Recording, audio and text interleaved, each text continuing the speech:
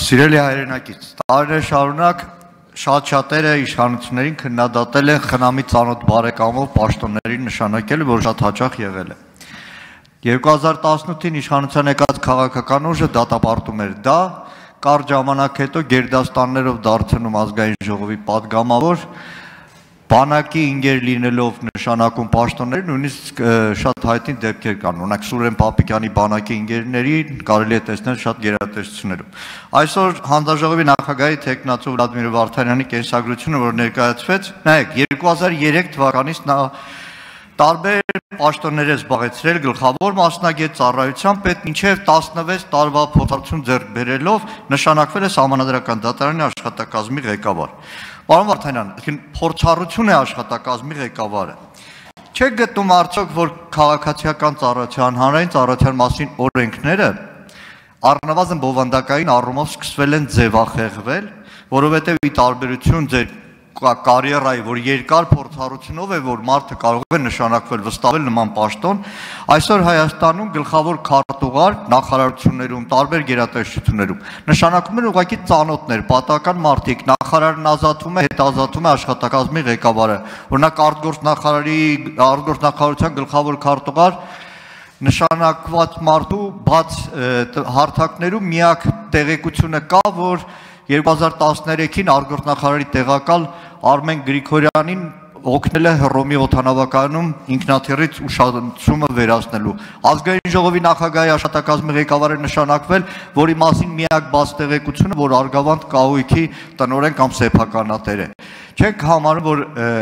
կարևորագույն այդ քաղաքացի եւ հանրային եւ քաղաքացիական պաշտոնը ուղակի հեղինակազրկվել է անցնող տարիներին։ Ճիշտ ասած, պարոն Մանուկյան, զարմացա որ դուք ինձ հարց եք տալիս, ինձ թվաց ուրիշ բանի մասն եք խոսելու։ Այդուհանդերձ վերահաստատեմ մեր վերջի հեռախոսային խոսակցությունը եւ այնինչ որ ես ասել եմ, բայց պատասխանեմ հարգելով խմբակցության ղեկավարին, քարտուղարին, հա, ձեր հարցին։ Նախ առաջինը իհարկե չափազանց կարևոր է ունենալ հա արժանիկահեն քաղաքացիական եւ հանրային ծառայություն Այո, պրոֆեսիոնալիզմ պետք է լինի ամեն ուրեք։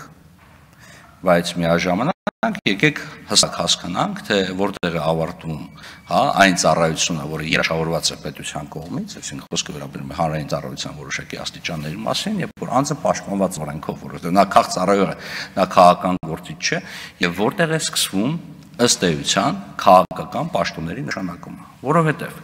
Գիտեք, միջև, եթե չեմ սխալվում, 2015 թվականը կարող է սխալվեմ, ցանկացած հիմնարկի, ցանկացած գերատեսչության ղեկավարի, այսինքն բարձրագույն ադմինիստրատիվ պաշտոն զբաղեցնող անձը քաղ ծառայող էր կամ հանրային ծառայող էր։ Եվ ըստ էության նշանակում էր կամ որոշակի ժամկետով, կամ նշանակում էր որոշակի չափանիշների պահպանմամբ։ 2015 թվականից այն վերածվել է վարչական պաշտոնի եւ ունի որոշակի կրիտերիաներ եւ դա պայմանավորված չի որոշակի աստիճանակարգությամբ կամ որոշակի աստիճաններ անցնելով։ Այո, եթե անդրադարձակ իմ կենսագրականին, զարմանալի է, հա, ձեր կողմից այսպես անուղակի գովեստի խոսքեր լսել իմ հանդեպ, բայց այո, ես անցել եմ այդ բոլոր ճանապարհները, սկսել եմ գլխավոր մասնագետից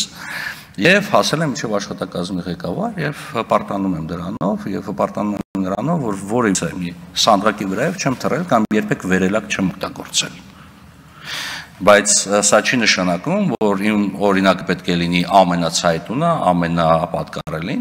Ես մտածում եմ, որ յուրաքանչյուր մարդ պետք է լինի իր տեղում եւ եթե անձը ի վիճակի է ունակ է կատարել որոշակի պարտականություններ, ստանձնել որոշակի պաշտոններ եւ որևիցե օրենքի խախտում, որևիցե տեղ չկա, ի վերջո մենք այս խնդիրը չպետք է ունենանք։ Չպետք է մոռանանք մի կարևոր հանգամանք, որ շատ դեպքերում, գիտեք,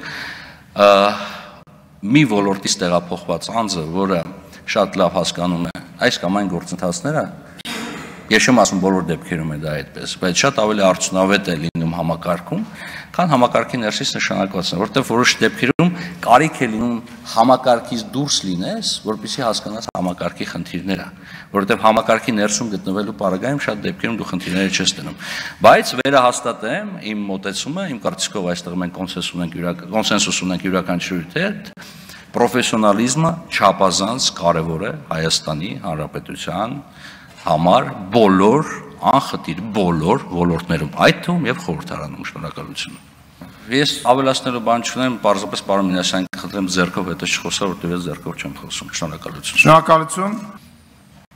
Արձագանք։ Նախ պարոն Թանյան գովեստի խոսքեր չէր, ուղղակի ուզում եի արցանագրել, թե պետական կառավարման համակարգը ինչպես կարող է նորմալ գործել եւ այդ աստիճանակարգությունը։ Պարզապես աշխատակազմի ղեկավար գլխավոր քարտուղար օրինակ նախարարություններում դա նախարարի մամուլի քարտուղար չէ, խորհրդական չէ, օգնական չէ, որ ամեն նախարար ցանկության դեպքում փոխի։ Եվ այսօր հարցս վերաբերում է դրան, որ ձևով խեղվում է գերատեսչությունների կառավարման կարևորագույն բանալի պաշտոններից մեկի եւ աննագրային տվյալները եւ բում բովանդակությունը այսօր գլխավոր քարտուղար աշխատակազմի ղեկավարը վերածվել է նախարարի օգնական խորհրդական քարտուղարու ամուլի քարտուղարի կարգավիճակի չվիրավորելով որևէ աշխատակազմի ղեկավարի եմ դա ասում ուղղակի այն կարգախոսներով որ եկել են իշխանության եւ իրական կյանքը հարություն ասչյան տարբեր է պատասխանեմ պարոն Մանուկյան, ես ընդհանրապես ոչ մի հարց եւ ոչ մի մեղադրանք չեմ թողում անպատասխան տվյալ պարագայում հարցեր ես ասեմ հետեւյալը որ 2003 թվականից անմիջականորեն հա մասնակցություն ունեցել Հայաստանում քաղաքացիական ծառայության ձևավորման ինստիտուտի հետ եւ լրիվ անկեղծ ես պետք է ասեմ այդ ինստիտուտը ներդրվեց ձևը բերեցինք բովանդակությունը չպահպանեցինք ես 2003-ից եմ խոսում որովհետև բերեցինք, ասեցինք մրցույթով պետք է ընտրվի։ Հետո էլ ասեցինք, բայց մրցույթում մի քանի հաղթող պետք է լինի։ Իմաստը որն է մրցույթ անել մի քանի հաղթողով, որ մեկը այդ հաղթողներից մեկին ես նշանակելու։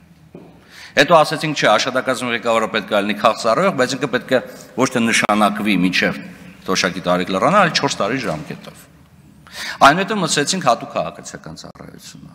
Այնուհետև ասեցինք, որ գիտեք, ազգային ժողով, ազգային ժողով մեկ այլ ծառայություն պետք է լինի, համանդրական դատանում մեկ այլ ծառայություն պետք է լինի։